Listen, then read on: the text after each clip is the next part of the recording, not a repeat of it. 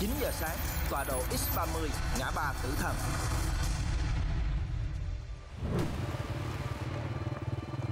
Chỉ huy nói khu vực ngã ba Tử Thần gần đây rất là phức tạp do có nhiều vụ cướp manh động đã xảy ra.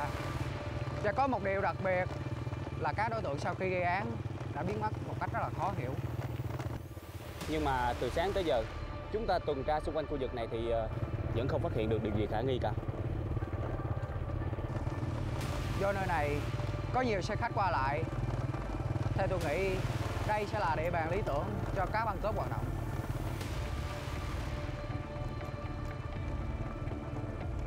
Alo, tôi nghe. Tổ một chú ý, có xảy ra vụ nổ súng ở khu vực X30. Nhanh chóng di chuyển đến ngay. Dạ rõ. Đồng chí, chúng ta nhanh chóng lên X30. Ở đó vừa xảy ra một vụ nổ súng.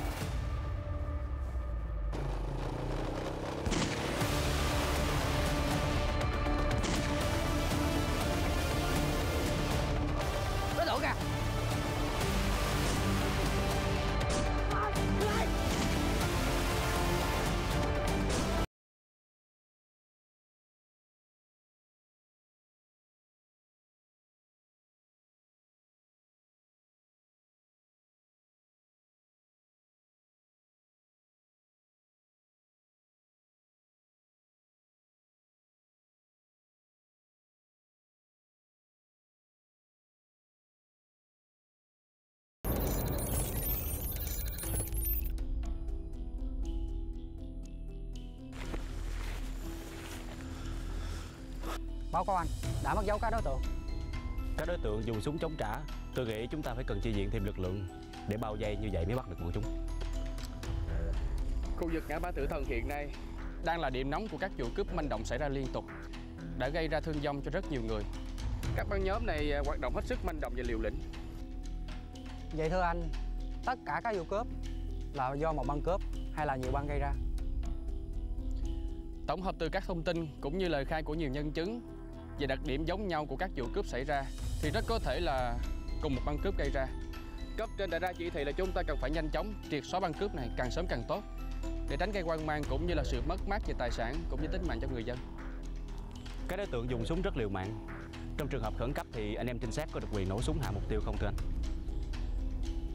Trong trường hợp khẩn cấp, chúng ta phải xin chỉ thị cấp trên. Tuy nhiên, nếu như mà đối tượng có ý định đầu hàng hoặc là hợp tác với cơ quan công an thì chúng ta sẽ khoan hồng. Và việc làm quan trọng trước mắt là cần phải chúng ta cần phải huy động lực lượng bao vây quanh khu vực ngã ba tử thần này để đón bắt các đối tượng.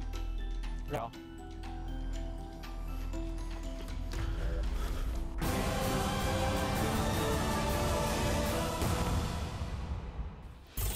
Ba ngày sau, ngã ba Tử Thần, khu vực giáp biên giới.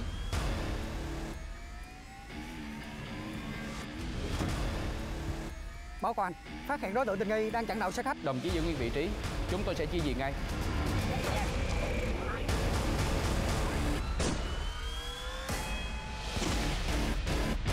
Tình huống nguy cấp, tôi phải giải cứu người đang gấp.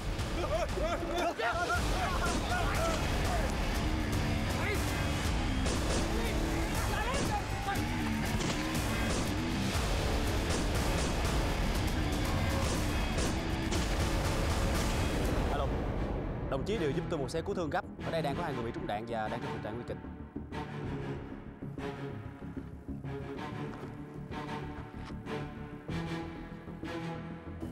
Anh cứ nguyện, Cảm ơn cán bộ. anh có nhớ mặt đối tượng cướp nào không? Ừm, Thưa cán bộ, ừm, mấy đứa cướp đó nó bịt mặt tôi không thấy hết. Ừm, Nhưng tôi thấy có một thằng á, tóc nó dài. Anh cứ kể tiếp. ừm, Thưa cán bộ, nó có vết sẹo dài từ đây xuống nè cán bộ.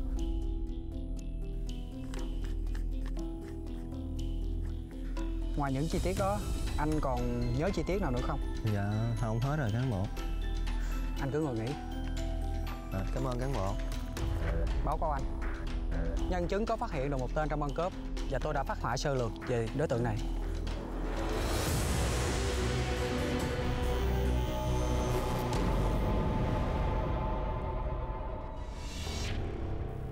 chẳng lẽ là hắn? Ba năm rồi, cứ tưởng hắn sẽ chết vì phát súng đó.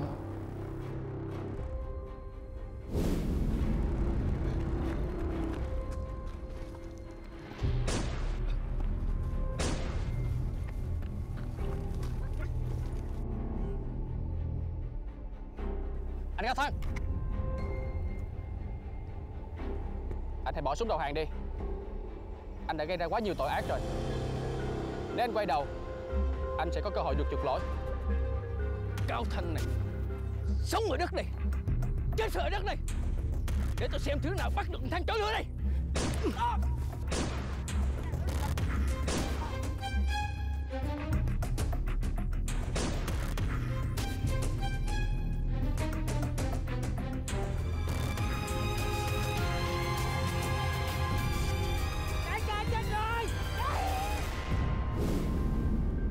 Nếu tên Thăng chưa chết, Với bản tính máu lạnh và liều mạng của y, Sẽ rất nguy hiểm cho người dân Và các chiến sĩ tham gia dây bắt hắn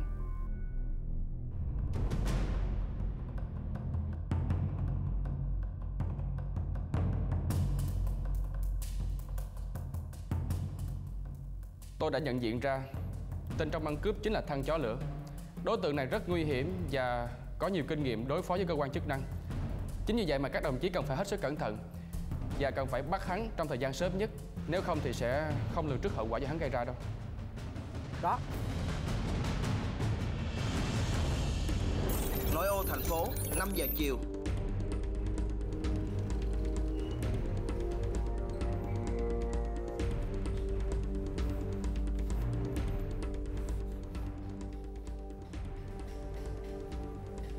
Nhìn cặp mắt của đối tượng này trông rất là quen Tôi nhớ đã từng chạm trán hắn trong hôn đấu súng ở vụ hiện trường cướp xe khách Nhìn bộ dạng lén lút của hắn rảo quanh cái tiệm tạp hóa và cái tiệm cầm đồ. Theo tôi suy đoán thì hắn đang chuẩn bị tiêu thụ hàng và chuẩn bị tiếp tế cho đồng bọn, khi đồng bọn của chúng đang bị chúng ta dây bắt.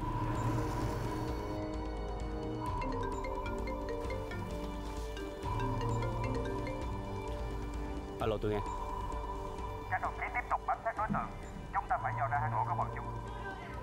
Dạ đó. Đối tượng ra rồi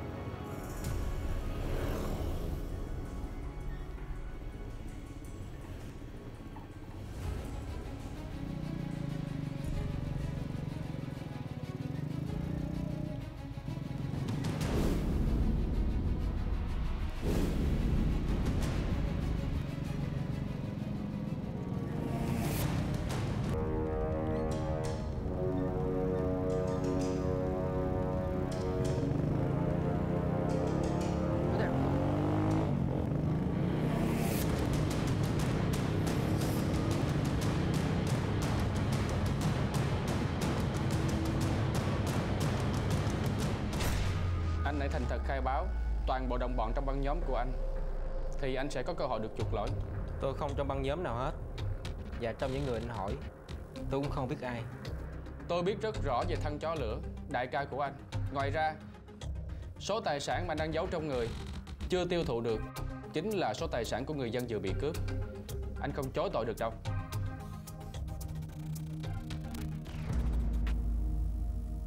Tôi xin khai Chứ sống chua, sống nhủi. Lúc nào cũng phập phòng lo sợ. Tôi chán lắm rồi. Chuyện từ 7 năm trước, Tôi chơi rất thân với anh Thăng.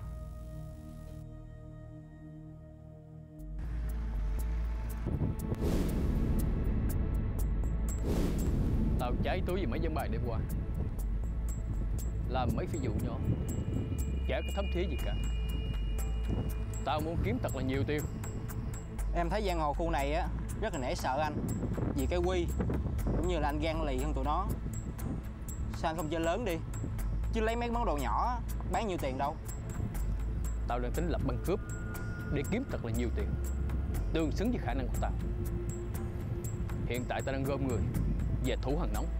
Lúc đó tao mới ra tay.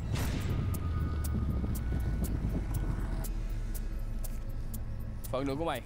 Cảm ơn đại ca Chứ rõ Dạo này mày phi hè cũng được nhiều tiền đấy. Thì trả tiền nợ tao đi. Cả vốn đóng lời là 50 triệu. Tao mới ở tù ra Nên cần nhiều thứ cũng phải chi lắm. Tiền lãi của anh á Cứ tăng dù dù. Tôi làm chọc đầu Cũng không đủ tiền trả anh nữa. Tao không có biết. Mày mà không trả phá lấy cái nhà mày Mày có giỏi. Thằng em mày bản lĩnh lắm. Anh muốn mày về làm ăn chung với anh Anh Thăng Tôi nghe tụi nhỏ nói rằng anh cũng lì đòn lắm. Này tôi muốn tự sức với anh Xem sự lì đòn anh đến đâu. Nếu anh thắng Thì chúng ta mới đủ sức để bàn chuyện làm ăn. Được. Anh sẽ cho mày sáng mắt. Anh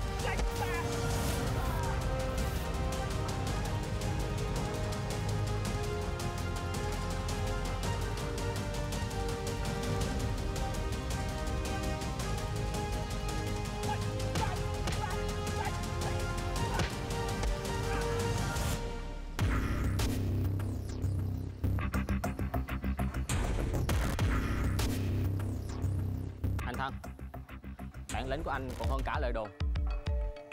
Nếu có chuyện làm ăn gì, Cần thằng em này giúp đỡ, Thì anh cứ nói.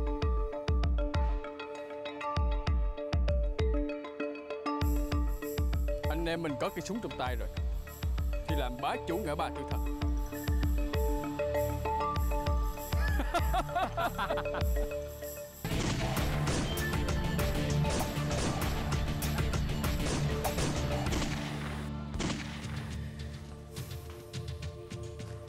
Anh em dự đói giờ mệt. Công an thì bố ráp khắp nơi. Hiếu. Bây giờ đây là số vàng anh em cướp được. Mày đem ra bán đi. Tiếp tế lương thực cho anh em. Công an á Họ dây khu này cả tháng nay Không làm ăn gì được hết. Bây giờ ló đầu ra cũng nguy hiểm nữa. Hay là Mình tính đường đầu thú đi anh? Từ nay Tao mà nghe thằng nào nói đầu thú. Tao bắn thằng đó trước tiên. Kể cả những thằng chung sống với tao. Anh Thăng Anh bình tĩnh lại đi. Thằng Hiếu nó chỉ nói giỡn thôi. Hiếu Mày tranh thủ đi mua đồ tiếp tế cho anh em đi. Rẽ vào cơn sóng gió này. Anh em mình sẽ vượt biên.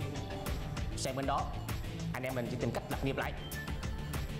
Vậy em đi nghe đại ca. Hiếu Mày cẩn thận. Bên ngoài tai mắt của công an không Dạ em biết rồi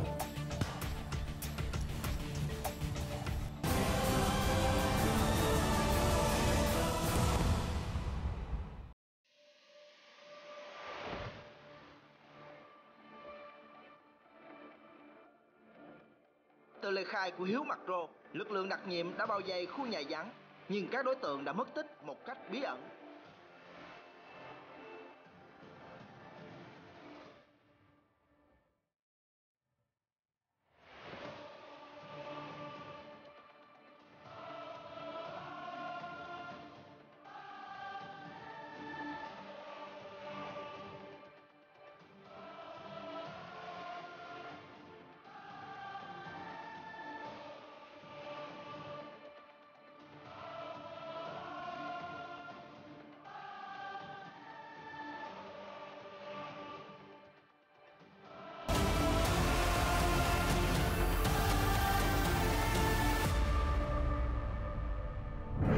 Hai ngày sau, tại tọa độ Y13, ngã ba Tử Thần.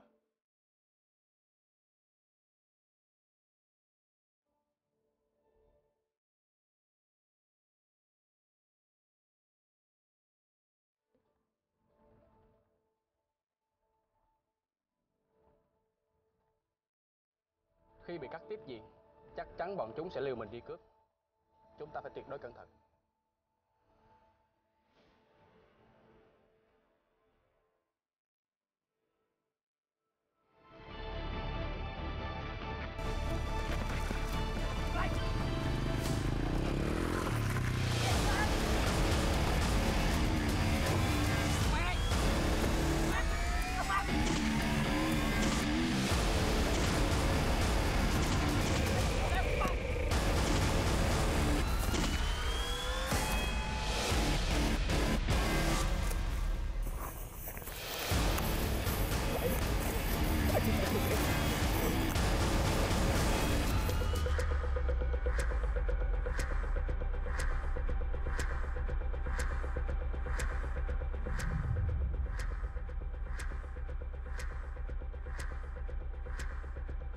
Thằng Hiếu.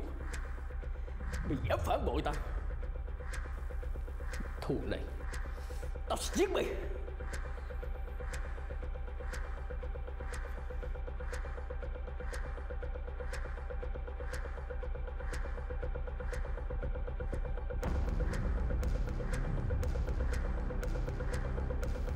Đại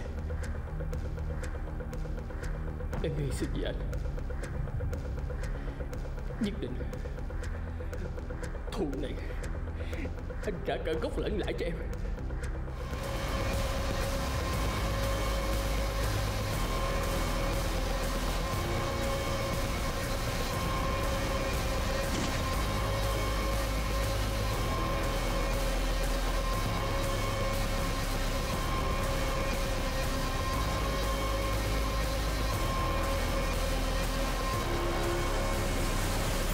Ngôi nhà giả chiến cách ngã ba tử thần 5 cây số. Anh Cao Thăng Hãy buông xuống đầu hàng.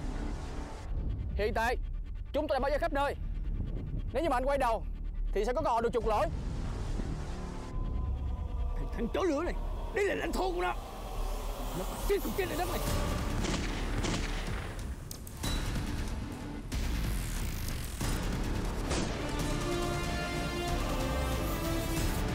Báo cáo chỉ huy Đối tượng dẫn quan cố chống trả, Không chịu buông xuống đầu hàng. Xin chỉ thị cấp trên. Rõ. Đồng chí Có lệnh tiêu diệt.